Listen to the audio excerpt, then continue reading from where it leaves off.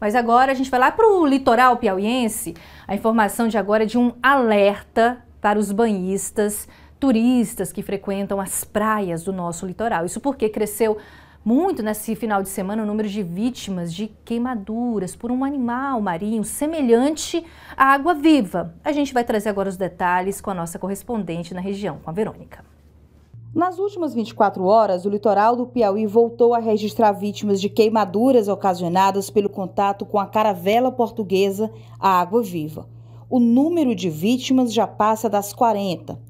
O contato com a caravela provoca queimaduras na pele que podem chegar até o terceiro grau e dores intensas devido ao veneno concentrado principalmente nos tentáculos do animal. Em casos mais extremos, o contato com a toxina pode causar reações alérgicas graves, acompanhada de arritmia e náuseas, em casos mais extremos. Esse fenômeno da floração né, é, geralmente ocorre nessa época do ano, mas dessa vez está muito acentuado, né? tem uma concentração muito grande das caravelas aí no nosso litoral, né? na orla marítima. Né?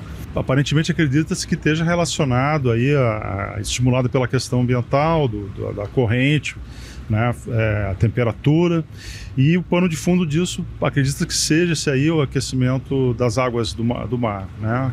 O aparecimento de caravelas portuguesas nessa época do ano nas praias do litoral piauiense são comuns, mas o que assustou banhistas e comerciantes no litoral do estado foram a quantidade delas e ao mesmo tempo que foram encontradas tanto na água quanto na faixa de areia. Segundo informações do SAMU, uma equipe do Corpo de Bombeiros tem se mantido no litoral piauiense para alertar banhistas e donos de estabelecimentos à beira-mar.